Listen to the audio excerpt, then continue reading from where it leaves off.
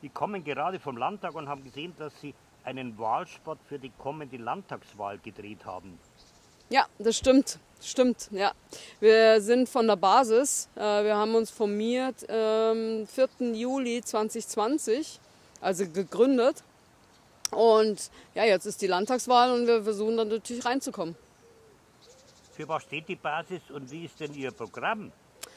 Die Basis steht für Achtsamkeit, Machtbegrenzung, Volksentscheide und für die Freiheit. Und unser Wahlprogramm sind so viele Sachen, also da haben sie ja alle verschiedenen Bereiche. Deswegen würde ich sagen, müssten Sie sich einfach bei uns auf der Webseite www.diebasis-bayern.de, da können Sie unser ganzes Programm auch selbst sich anschauen. Sie kandidieren für den Bayerischen Landtag. Warum sollen die Bürger Sie denn wählen?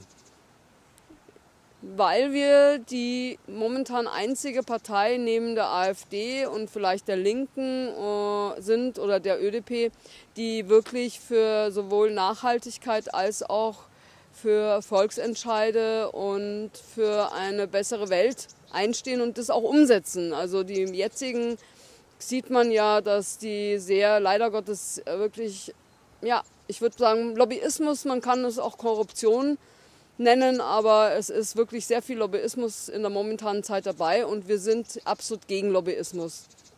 Und woher glauben Sie, dass Ihre Wähler kommen? Ich denke mal sowohl von den Grünen, weil wir wirklich für Nachhaltigkeit sind und zwar richtige Nachhaltigkeit. Das ist ja jetzt, ist es ja reine Geld, Geld, Geldmache und der Herr Habeck, äh, sehen Sie ja, was der macht und wenn die Grünen weiter in dieses Fahrwasser gehen, dann hat das nichts mehr mit wirklich Grün zu tun, sondern es ist ja betrüblich. Und wir sind halt wirkliche FDPler. Wir sind für den Mittelstand. Also wir stehen für den Mittelstand ein. Also ein Herr Lindner, der heute die, das Fähnchen in den Westen hängt und morgen in den Osten, das geht natürlich auch nicht. Also äh, und CSU, CDU ist leider auch nicht mehr wirklich das, was es mal war. Äh, und die SPD ist auch nicht mehr für die Menschen, sondern also es ist, äh, wir haben wirklich meiner Meinung nach oder ja unserer Meinung nach also vorwiegend meiner Meinung nach natürlich, haben wir wirklich ein Gruselkabinett. Also vielleicht würden die im, ähm, ja, ich glaube, Oktoberfest wären die hervorragend geeignet für die Geisterbahn.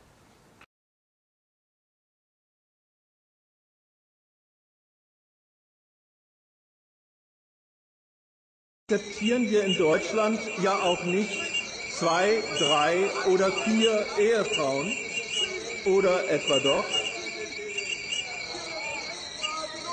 Und Integration. Glauben Sie, dass auch einige Wähler der AfD Sie wählen? Vielleicht weil die Leberkäse-Connection von Franz Bergmüller so zerstritten ist? Also das weiß ich nicht, weil letztendlich, äh, wenn diese Partei mutiert ist zu einer Gruselpartei, dann denke ich mal, werden wahrscheinlich einige Wähler zu uns rübergehen. Aber ähm, das bleibt den Menschen überlassen, was sie wählen. Und ich meine, ich würde immer nur die Basis wählen, weil alle anderen kann man momentan nicht mehr wählen. Leider. Vielen Dank.